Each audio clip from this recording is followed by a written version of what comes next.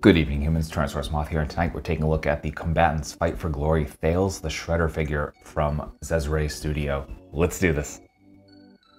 Aesthetically speaking, this figure looks fantastic, and uh, honestly, we've seen most of this before. This is uh, the exact same body uh, and armor bits that we saw with Kitatu. So pretty much all the sculpt here is the same, almost, not all of it obviously, uh, where we have a rhino, but we have a bull here. And uh, you know, we get some added pieces as well. So um, really the, the new stuff is obviously the colors. So we got all black plastic for the body here. And uh, then the accent color, you know, we still get that silver for the metal, but then we get yellow as an accent on the leather pieces. And that looks very, very nice. Uh, we also get a chain coming across the belt piece here, which we did not obviously get with the other figure. Uh, the centerpiece is different where it's a skull. Uh, there's clearly a peg under there. Um, so this probably just pops out with, with a little bit of heat. Then we get the loincloth, which this time, instead of being cloth, is actually a white fur, which actually looks very, very nice. Feels wonderful as well. Get these nice leather drapes here in the back with that red accent. Absolutely love that. Uh, clean paint all around, especially with all the you know little rivets here. And uh, yeah, so again, very much the same, just kind of a color swap up to this point. Uh, even this gauntlet is the same as we saw with Kitatu, except, you know, the yellow bands. And uh, then we, we do get a bicep band, which is new, has the same spikes, same color scheme, uh, obviously as the rest of the armor, so it ties in. Very nice, clean paint all around. The other gauntlet is, you know, kind of some leather wraps with some chain over it. Then we get some real chain with Morning Star piece at the end of it. Really love that, especially the, uh, shade of silver they used. Very, very nice. And uh, finally, obviously the big difference is that as a bull, so you get a new head sculpt and uh, really love the way this is done. No shading, no highlights, doesn't really need it. The black plastic they used here totally just carries it. Uh, not only that, but the mouth, really nice paint going on in there. You can see the teeth going all the way back. Tongue is fully painted. Nice touch with a like little bit of a bit of a wound here on the lip. And then we get those piercing red eyes. And then finally, these awesome horns. Really love the shape of those, especially that they come from this like kind of yellowish brown up into black. Just really menacing and awesome looking figure. We get a nice group of accessories here, so let's jump right in. Talking about hands first, and uh, we do get our grips right out of the box. Then we get a pair of fists. And finally, a pair of splayed out hands. So pretty much all the stuff we would expect, and we saw with the other figure. Uh, then finally, we get a pair of interchangeable feet. So we get hooves this time, uh, but also with those wraps with the yellow, uh, and they are designated left and right, so you know which ones go there. Uh, and they also included in the bag uh, for those just a little notice to, um, this will focus, there we go. Um, so obviously apply heat, you know, give it a warm bath or something like that before you remove the feet, otherwise you're possibly gonna damage it. So nice little warning there. And then finally, we get this incredible looking axe. Really love the shape of this, the shade shading they did as well. The black that kind of like fades into the, the silver looks very, very much nicely worn and natural. get that wood grain, we get the, you know, kind of support here at the back.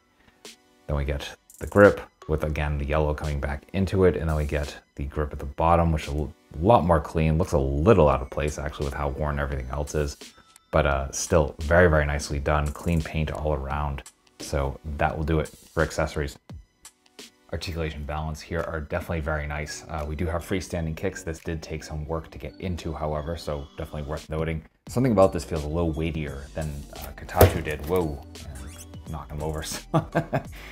Uh, so getting into the finer points, pretty much exactly what we saw before. So we do have a barbell joint coming from the neck into the head. And uh, so we get that much down. We can come that far up. We do get side to side. The head here is definitely a lot looser than it was with Kitatu as well. Uh, we do get an open mouth, so we can open that much, close all the way. Uh, of course, we get rotation there as well. Then we come to the arms and uh, or the shoulders, and we do have that front um, butterfly joint doesn't really go back, just kind of comes to neutral and then swings forward. The uh, right one here is a little more free. You can see that kind of moves a little more freely there. Then we come to arms, and we can come up to just about a T. We do have bicep swivel. We have single jointed arms, which come just before 90. Part of that is a gauntlets, part of it is just the sculpt. We do get uh, hinge sw swivel, swivel hinge swivel here for the hands. Uh, so we can go a lot of places, but uh, we are definitely limited by the gauntlets kind of being in the way. So you can take those off if you kind of want to get more range. Then come to the body and we get a ball joint at the diaphragm, ball joint at the waist, but you know, we're, we're gonna be limited by that belt. Uh, we do get some fantastic arch back, honestly, considering everything. And uh, then we get forward and uh, getting covered by the arm there. So very nice there. We do get some rotation there as well. Come to the hips and uh, coming out, you get almost full splits, which is beautiful.